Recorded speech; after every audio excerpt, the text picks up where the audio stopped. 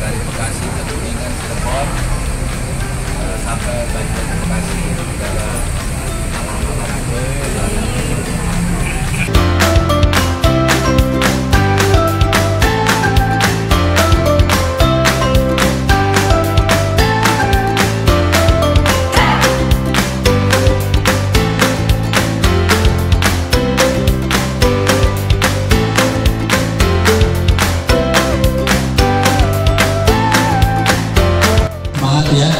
ini teman-teman dari mana? SMP PGRI satu Kota Bekasi.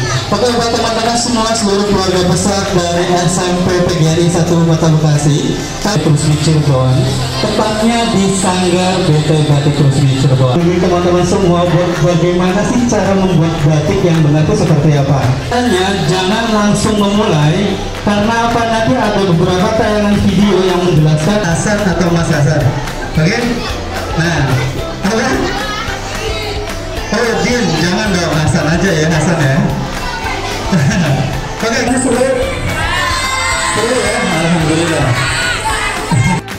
Dan modal pokok pernikahan tersebut mereka memulai usahanya menjadi sebuah kaya mandiri yang merupakan bahan baku pembuatan batik.